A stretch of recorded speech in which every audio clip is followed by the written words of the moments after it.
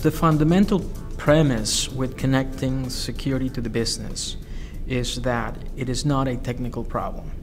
It will never be a technical problem, and in fact, the technical issues surrounding security are minuscule compared to um, the real issue, which is making sure that we view security as a dimension of quality in all of the products and services that an organization delivers. First and foremost, you have to understand the business, meaning whatever industry you're in, financial services, whether you're in the government, you have to understand what the business mission is. And based out of that, try to align uh, what priority should be given to the different categories of information security activities, objectives, goals, and, and plans.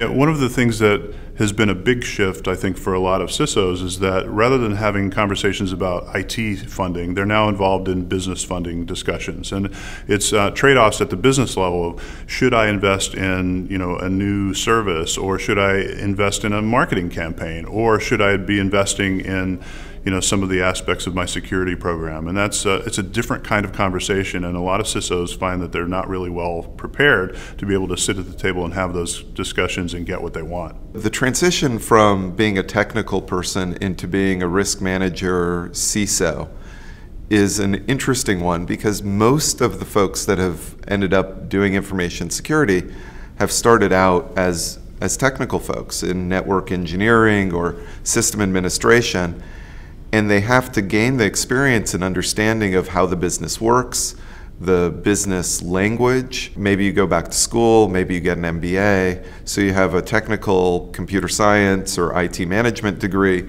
along with a master's in business administration. One of the things I've seen be uh, very effective is to engage with someone who's kind of already in that role. So um, I think CFOs and chief legal uh, counsel can often be very helpful because they understand the language of controls and risk from an overall business perspective. And they can help you understand how to map some of the tactical activities of security back into something that the business understands. The big job of the, of the CISO is to be able to translate back and forth from talking the C-suite language to talking the, the technology language, both up the chain and down the chain. They need to articulate to finance people the cost in financial terms of a failure of security or you know a breach of confidentiality, a loss of availability. Uh, to the salespeople, you need to articulate that if we go down, if we have these breaches, you'll have a much more difficult time selling to our, our prospective clients. And one of the challenges a lot of organizations have now is that they're being challenged to secure all this information with either flat or declining budgets. And for that, you can't just brute force it. You've got to be more insightful and more intelligent about how you approach this. And that's why I think enterprise security intelligence is really going to be a, a huge um, benefit to a lot of organizations, and I see a lot of investment in that area.